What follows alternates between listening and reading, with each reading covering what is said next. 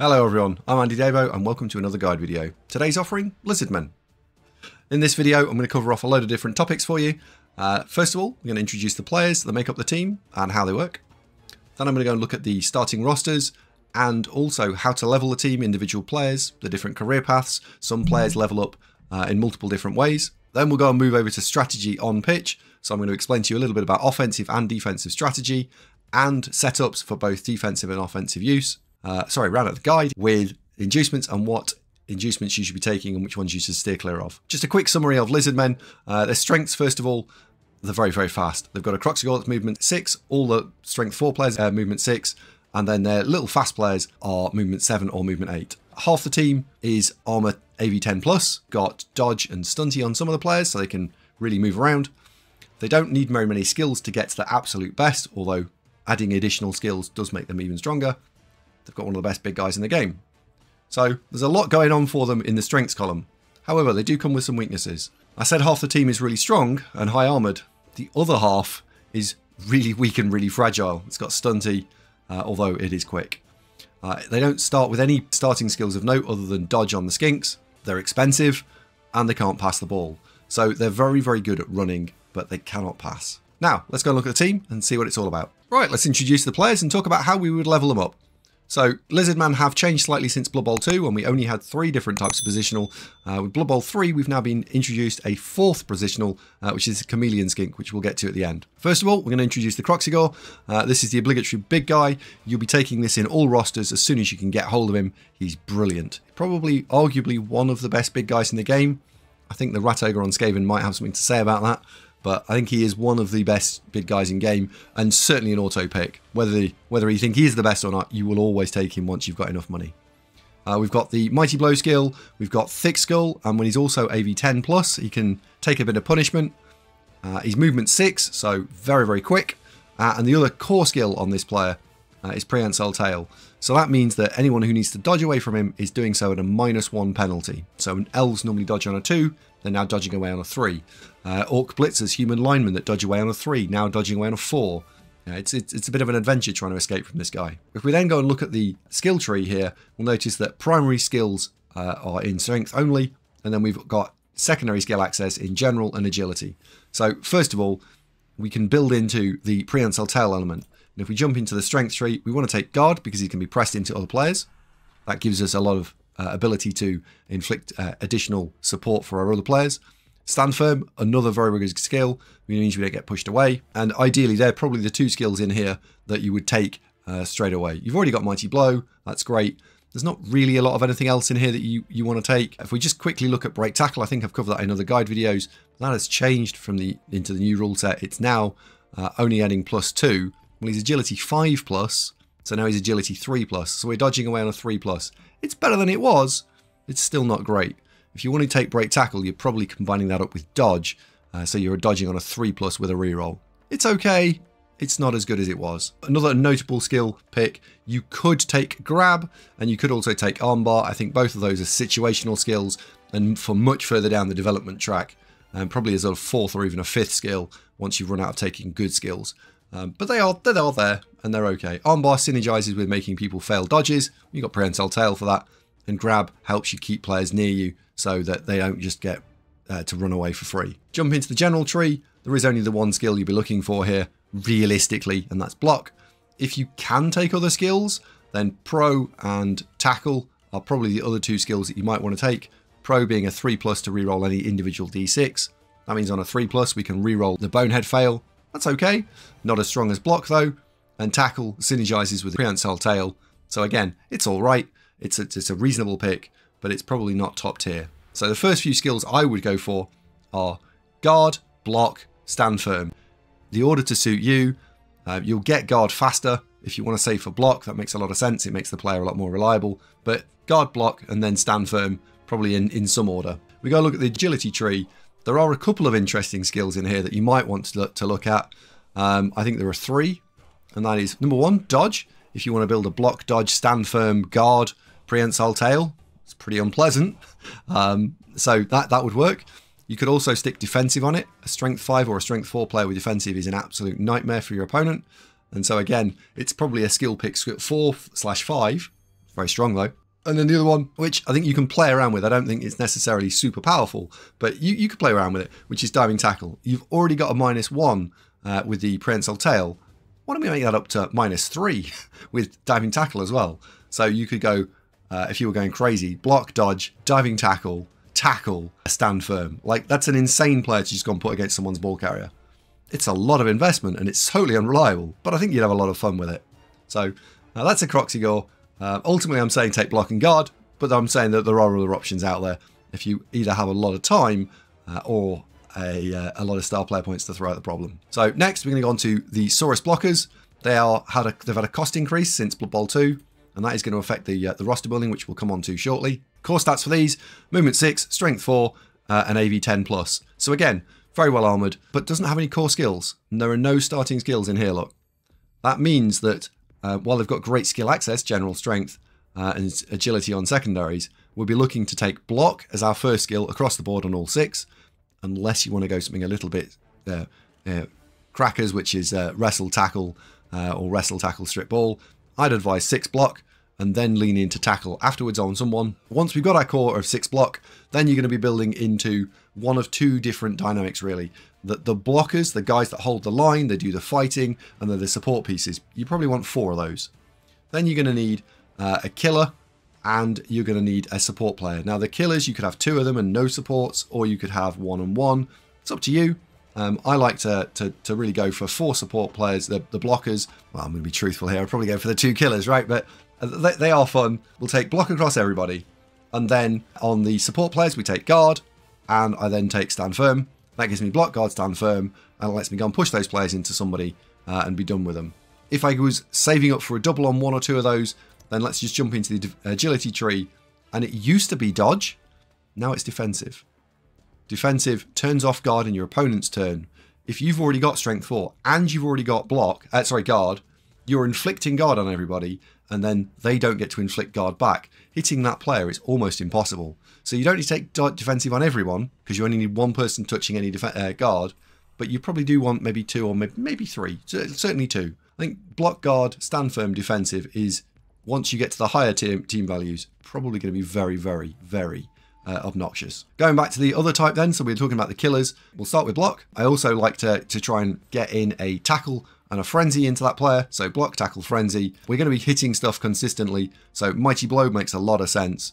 And then after that, you might want to take consider something like juggernaut uh, or indeed just guard because having seven guard on the team would make a lot of sense. So that's your the killers, and that's why you can have two of them because you could take uh, juggernaut on one with frenzy, and then the other one could take strip ball. But ultimately, make sure you've got two block tackle um, players, ideally with Mighty Blow. Block, tackle, Mighty Blow on two of them, and then lean out after that. Uh, at that point, I don't think you want to be taking anything in this tree here. Defensive doesn't really synergize with what they're trying to do. Dodges for defense. I don't think it really helps you with what you were trying to do. Um, and I don't think you need to stand firm, uh, and sidestep's really expensive. One thing I do want to counsel so far on this is that these skills cost 40 team value each because they're secondaries. So yes, you, you're talking about a chosen skill be very careful. Don't spam them into your team. Just just sprinkle one or two in, right? They're they're there just to add a little bit of something extra rather than to be the, the main source of the team. Um, from a characteristics point of view, I don't really think you want to be saving up for a characteristic on the Saurus blockers. Movement 6 up to 7, nah, not really. They're already fast enough. Strength 4 up Strength 5 is incredibly unlikely to happen, so it's nearly not going to happen. I wouldn't bother. Agility is terrible. Passing is terrible. Armor is not great. I wouldn't, I really wouldn't be bothered with it. So I, I, don't think you need to be saving up for stats on this. I think you just need to take block guard and then either build them into support players uh, or combat players, depending on what you want to do. Next, we've got the skink runner linemen. So the skink runner linemen, or normal skinks, as I'd like to term them, are indeed uh, normal skinks. So we've got movement 8, super fast. Unfortunately, only strength 2. And they're also AV 8 plus and stunty. Well, it's whenever, whenever this player it's not in the it's not actually on the on the tooltip. But if a player gets uh, hit uh, who's stunty, they can get casualties on a nine plus and they get KO'd on a seven plus. So they are more likely to leave the field, and they're also uh, only AV eight plus. So yeah, eight, on an eight plus you're going to break their armor with strength two. So that's a little triumvirate of problem uh, for you to deal with. They do come with the dodges defensive skill, and they are really fast. So there they are, they're quite useful. They've got some interesting uh, skill access, which is agility on primaries only. So if we dive into the primary tree, you'll notice they've already got the single best skill in here. That's dodge. Um, and after that, defensive on a strength 2 player, unless you've got a lot of guard, is a bad idea because that'll just get punched and killed.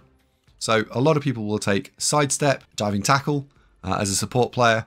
But I think the, uh, the the players, there are two types of player that will really get picked out. Number one uh, is Sneaky Git. You will take Sneaky Git on one of those skinks almost immediately. And then once you've got Sneaky Git, you'll jump into here uh, and you will be taking the Dirty Player skill. Sneaky Git Dirty Player. So it's cost you 12 star player points here uh, and 6 here. One of those has gone up to a, a few more. So we're talking about 20-ish star player points, maybe 24, to get you a Sneaky Git Dirty Player. Get one of those immediately. They were amazing. You could almost run two. Then we need to make a decision about who's going to be the ball carrier because these guys are naturally a bit faster um, and they're agility 3 plus. If we just go and quickly look, uh, slightly out of turn, and go and look at the chameleon skinks, you'll notice the chameleon skinks are only movement 7, but they do have passing agility 3 plus rather than passing access 4 plus on the standard skinks. And these guys have got on the ball, which means that at the start of the drive, one of them can move towards the ball uh, for 3 squares for free. So that starting movement skill uh, of 7, not 8, is negated considerably by the uh, on the ball skill. However, they are still only movement 7, so it's, it's an interesting choice. Do you want a slightly slower throwing type player, or do you want a slightly faster non throwing type player? And that's a choice that you're going to need to make. Either way around, if we go back to the skinks, um, what you will certainly be doing is once you've got your dirty player sneaky git, you'll be saving up for characteristics on a lot of them because movement 8 up to movement 9. Yes, please, that's amazing. Agility 3 up to agility 2 uh, lets you pick the ball up, lets you do, dodge through tackle zones. And I'm a count, I, I would counsel that the, you know at least one of these guys is made into a basic ball carrier. So we're looking for statistics, and then once we've got our stats, we'll go into here and we'll take two skills out of this skill tree, uh, which are sure hands and block. Once we've got a movement 9 agility 2 plus uh, block sure hand skink, then we're golden. That is the ability to score at will whenever we want. You will either do that on a chameleon skink or a normal skink, your choice, but ultimately that's what you'll be doing. Uh, and then we'll try and build the others as dirty player sneaky gits. Uh, and you might might actually choose to build them in the way they were intended, uh, which is you might take someone with sidestep and diving tackle. But ultimately those skills are a little bit bloaty. They don't do it. They don't add enough for the team value. So just stick with a ball carrier and a and a fowler. That should be should be good enough while saving for stats. Now we're going to look at the Chameleon Skink.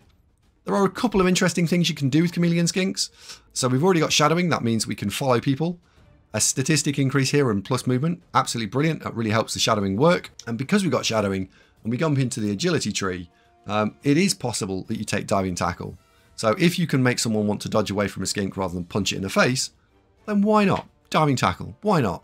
Um, we can also take sidestep, that makes a lot of sense. Uh, we've got uh, safe pair of hands if you want to go down the ball carrying route. But ultimately, you'd be taking this player for either um, the diving tackle sidestep uh, combo, or you'd be building him into a thrower. And this is where I think it gets a little bit interesting, which is that the secondary skill tree in here, if you were randoming these skills, leader is an amazing skill to hit uh, because it would cost you 20 team value and a reroll on lizardmen is 70 team value. So that's a net saving of 50. If you can get that, that's great. If not, then you might choose to lean into the passing stat of 3 plus because accurate suddenly means him uh, throwing the ball on a 2 plus, which is great. Uh, and there are other couple of other weird ones like Fumblerooski. Uh, while you don't normally look take that on a team like this, if you can't throw the ball, you can always run away with it, put it on the floor, let another skink pick up and run away with it again. So Fumblerooski, while I've not recommended it on any other guide video, it is a skill you might get some use out of. Certainly if you randomed it. There are some, still some terrible skills, right? Uh, dump off, pretty rubbish. Uh, Cannoneer, terrible. Cloudburster, a woeful. Uh, Hail Mary pass, nope. Uh, safe pass, not really.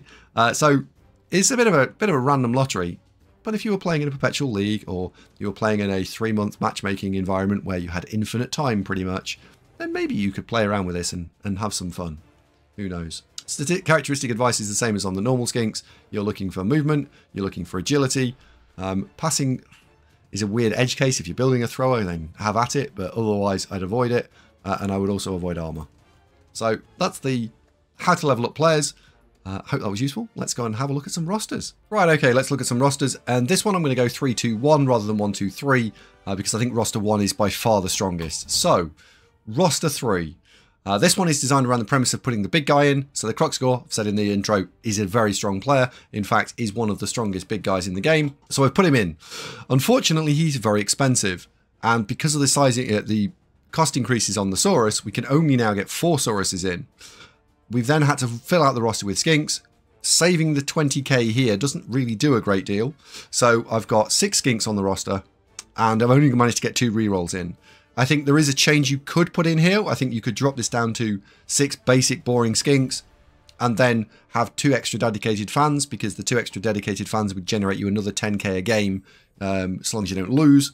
So that's maybe a, a, a tweak to this roster. Um, overall, I think it's quite weak. Uh, you have no block, you have no ball pickup, and you've only got five strength players, one of which doesn't even do as it's told. So it is an option, probably not the best option, but at least it's an option. All right, we're now going to look at roster number two. Uh, roster two is built around the premise of three rerolls. Because we have no core skills, I've put three rerolls in first and then said, right, well, what else do we get? So in this instance, uh, again, we've only got five big things, uh, five dinosaurs. They do all do as they're told, which is wonderful. And so we are missing a Kroxigor and we are missing a Saurus blocker. As such, I've then had to fill out hats to fill out the roster this time with no choice uh, with skink runners, uh, the vanilla skinks. We got six of them. You could look at it this way, which is, well, one of them's going to die and you don't really care. And you're going to replace it with a Saurus anyway. So that works. And from a uh, cost efficiency point of view, the three rerolls probably let you get a little bit more done and add a little bit more reliability in there. So I think this is probably actually a, reasonably solid roster. It's certainly a solid roster if you're going to play for a while and want to get off to a semi-reliable start. Because once you've got the 85k, you will buy the Saurus, and then you've got your 6 Saurus, then you'll save up for the Apothecary, then you'll save up for the Kroxigor. So you're, you're about 250k short. It's a shame we haven't been able to put any dedicated fans in there, but if you want to put some dedicated fans in, you can drop the reroll, and at that point you could actually play off 6 dedicated fans, so you'd be playing 2 rerolls, 5 blockers, I think the three rerolls is just safer. You've got them, they're yours, they don't cost double after, they cost double after tune creation. You're going to want three. So unless you're planning to go min-max and down to two at some point, uh, this is actually a, an Andy Davo certified recommended roster. However, roster number one is actually where it is. I've managed to get all six Saurus in on this one, so that was the idea. Where I bought the six Saurus and said, well, what have we got left over? Uh, I've spent everything. So six Saurus, I've then had to fill it out with five basic vanilla skinks, and I unfortunately have had to compromise here. We've only got the two team rerolls. So as you can see that the the thread and the, the running theme through all of this is you have to compromise somewhere. What are you giving up? Uh, and in this, we've got the two rerolls. However, what we have got here is an apothecary. So I've got 50k in apothecary here. I think if you were playing a short league of let's say five, six, seven games, this is the roster I would take, or the three reroll roster, but but probably this one. If I was playing in a, a lot longer league, uh, let's say like a 20 game or a 30 game league, then this is definitely the roster I would take because it's protecting me uh, from losing one of the big Sauruses straight out the gate. And the Apothecary and the big six dinosaurs is what I want. It gives me the best chance of landing an MVP on one, so I'd do that. Um, a twist, if you want to change this roster around a little bit, um, is you can drop the Apothecary and you can spend some or all of the money in the dedicated fans department, and that would mean that you'd be generating uh, around about 35k minimum, even if you lost uh, per game, uh, although your fan fact, your dedicated fans would fall as you keep losing. So you could recoup the money reasonably quickly here if you wanted to throw it all into dedicated fans. And I think that's an either or, depending on your circumstance. That's the three rosters. This is the def. This is the one I'd pick. Uh, and then in a short, short, short league, I'd be probably looking at, at the two, uh, sorry, at the three reroll, uh, and then just buying the other Saurus, uh, as it's the quickest route to getting three rerolls uh, and six dinosaurs. Diving into formations. Uh, on first of all, we're going to start off with the offense. Uh, and there really is only one standard offensive formation here, uh, unless, of course, you're trying to score a two-turn touchdown. So offen standard offensive formation here for, for Lizardmen uh, is this, and I've actually got to this, this, the slight only variation I think that is acceptable here, uh, which is on this side we've gone uh, a chevron that's slightly wider, and on this side it's a chevron that's slightly tighter together. Uh, if I mouse over the four skinks, you'll see where they are on the field, and ultimately they're all protected. These can be chameleon skinks or they can be normal skinks, but ultimately they're going to be protected. And then we've put the big dinosaurs on the front line, and you'll see that as I move over here, the numbers are highlighting where they are. I'm assuming at this point that the opponent has provided their uh, placed their players in the central line of scrimmage directly in front of numbers 3, 2 and 4, uh, in front of these three players here. And then we'd be blocking diagonally from our left across to the right so we can get two dice blocks. Um, in terms of how to open with this turn, if the ball goes deep, then against a faster team, you probably want to drop all of the skinks back to go and cover it, and then the closest skink goes and picks it up, or the skink that is on three star player points, or the one that you're trying to get the the, the stat increase on, or the moving uh, the, uh, the, the the double on. But ultimately, the skink should swarm towards the ball, and then the dinosaurs stand there and, and form uh, a line. And once you've got, even if the ball goes deep here, you've got eight squares of movement. You should then be able to reconnect your team uh, on turn two. And the goal is to, to reconnect. If you can do something extra, which would be that I would be looking to allow my opponent to sweep into one of the sides, but not the other. What you can do there is you can take number six and you can fold it across here, and you might take number seven and fold it across here, and you end up with a line here. Yes, you're leaving this side open. That's fine. They're going to run around here, and then if your ball is here, you just run north and you can reconnect.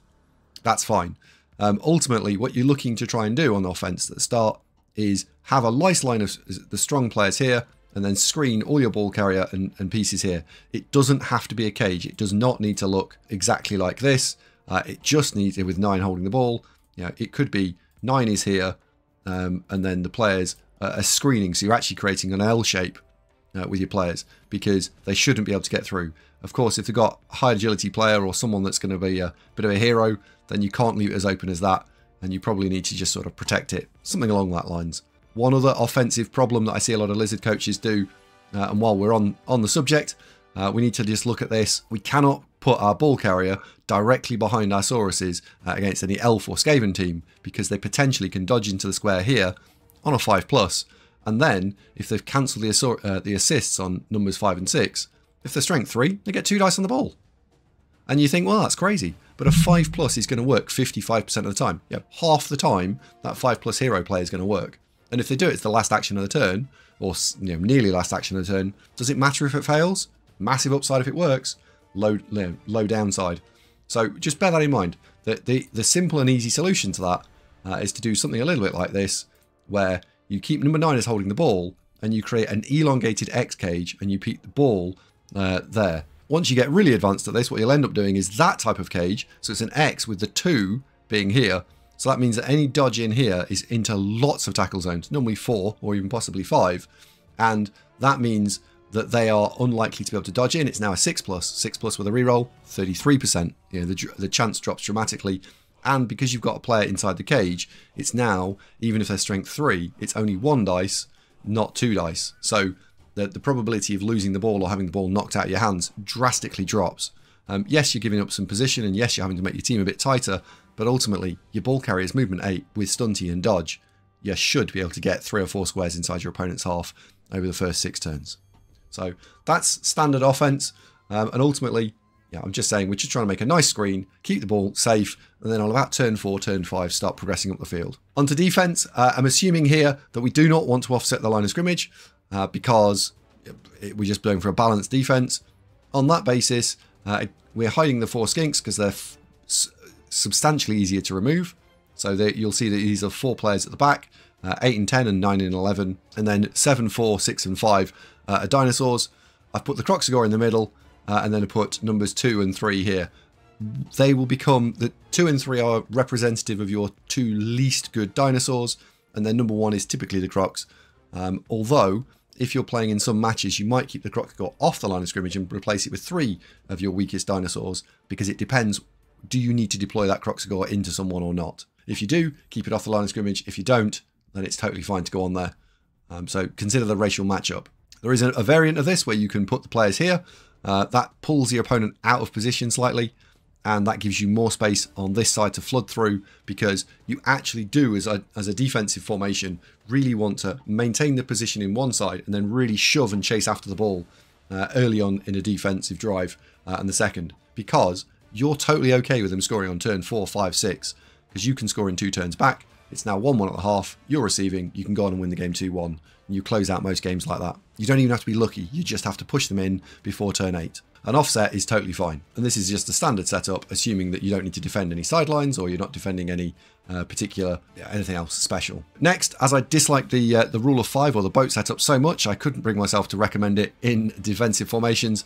Equally, I couldn't ignore it entirely because, annoyingly, it is reasonably effective. So I've created a new boat. Uh, this one is definitely mine, and I definitely invented it. Uh, so we'll go with this standard center line of scrimmage, and then these players can either go here as I'm just demonstrating here. And what that's doing is it's helping defend number two because he can't put an assist in, or they can't put an assist in that square there. Therefore, it's difficult to knock these players over. But in so doing, we're isolating our skinks out and people can easily run around the side and smash number 10 in the face uh, or come around here and smash number 11 in the face. So uh, you need to decide, do you need to defend numbers 2 and 3? Or do you need to defend your skinks on 10 and 11? And that will inform you in terms of where they go. All this setup is to do uh, is to just try and keep your team together, keep it alive, and then on turn two, turn three, you'll be then looking to deploy that out uh, based on what sort of threat you're encountering. This is not a bad um, setup against uh, an elf team, although it is going to limit your ability to go and push through them if your opponent plays properly. So uh, it's interesting without being super duper effective. Um, I think I prefer the cups so far.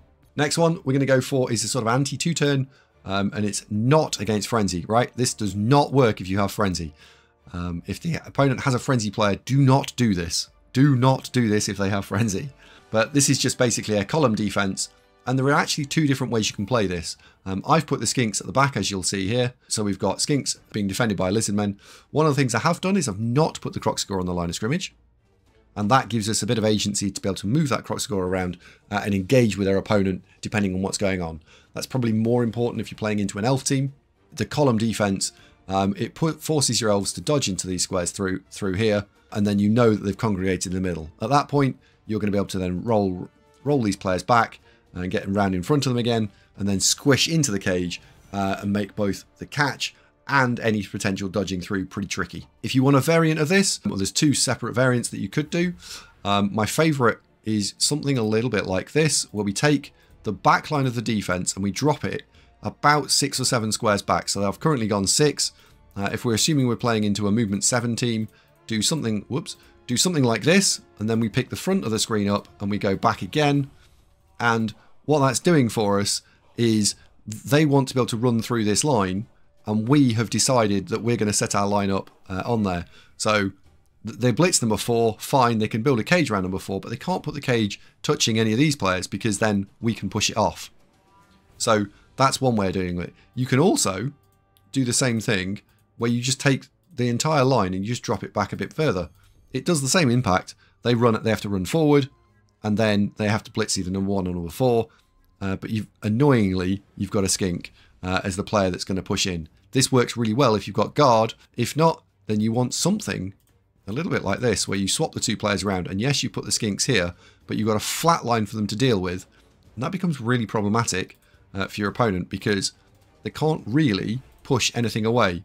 So yes, you're letting skinks get hit, but they're unlikely to blitz those. So this is a really good anti-two-turn um, setup. Playing around with it like this, seeing where they need to stand, and just literally trying to put your players in the way. Um, at that point, you can either offset the line of scrimmage or not, um, or you can do stuff like this, where you just split it up. But I have seen on some guide videos recommending that the dinosaurs are deliberately always split. Um, just as a, a point of caution, do avoid doing that, because if you split them like this all the time, they can easily get knocked over by strength 3 players. So for example, if we want to knock over this line of scrimmage, we'd start with number 7, we'd put a player here, a player here, a player, start there. We have players all the way along, that's 7 players, but we block on the diagonal, that pushes number 7 away. Now the guy that threw the block becomes an assist for number 3, so we've got two assists, and we've got someone here, they punch number 3 in the face, and then we've got three players, and then number 2 gets punched in the face. So avoid doing that, because of course if we put these players back together again, now to hit number 7, you've got to waste an activation and put someone in one of these two squares, punch straight forwards. Then you're going to put another player in, waste that activation, punch number two, then you can have a go at number three. You also only get one hit on all those players. So do avoid uh, splitting the line of scrimmage with the dinosaurs wherever possible, uh, unless it doesn't matter and they just can get two dice on you no matter what. Bear that in mind. Now, from a defensive playstyle point of view, I think liz uh, lizardmen are actually really strong. Depending on how you've skilled them, if you've gone block and block guard, what you'll want to do is you'll want to have them in pairs or groups of three and you'll go and push into a couple of the strength 3 players. They then, because you've got strength 4 block guard, they won't be able to move. They'll have to move away, and you'll be able to sort of dominate and bully your opponent. What you're looking to try and do is um, corral your opponent. So we'll end up with something that looks a little bit like this. Um, let's just um, forget the numbers for a second, uh, but you end up with a position that looks a little bit like an L shape, and your opponent is ending up here because we've pushed 7, 3, and 2 into your opponent. Um, we're blitzing um, where the, the, the, the white bar is, and we're trying to create an L shape. They're going to really struggle to get through because we've got strength 4 people at the front. They're going to really struggle to get through the center, and then ultimately they'll do something uh, where they, they fail a dodge or they mess something up, and then you'll be able to, because your players are based, you'll be able to chain push a few things out of the way, and then you get a two dice strike on the ball using any of the Saurus because they're all strength four. And it's a control team. It is not a combat team or a bash team. I see a lot of people build them with Mighty Blow first. That, unfortunately, while fun, uh, is not the correct way to play Lizards. So you want to take block, then guard.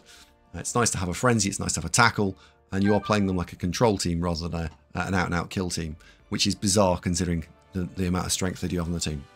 So that for me is is sort of a little bit of insight into how to play them and how to set them up. I hope you find it useful. Uh, and we'll now go and look at inducements. Right, so let's look at inducements. Before I go into recommending specific inducements to you, I want to explain what I think lizard men are strong at and also think why they're weak. And I think one of the most important things that, that lizards, or one of the reasons that lizards struggle, is when they don't have all of their strength 4 slash strength 5 players on the field, either because they are missed next game or injured dead, or because they get knocked out, uh, KO'd, and don't come back. With that in mind, I think therefore your, your emphasis should be to try and keep the dinosaurs on the field at all times. Um, if you're playing into an undead team that is going to foul a lot, then a biased referee is a really good inducement that stops them fouling or limits their ability to foul and therefore you know, go with that.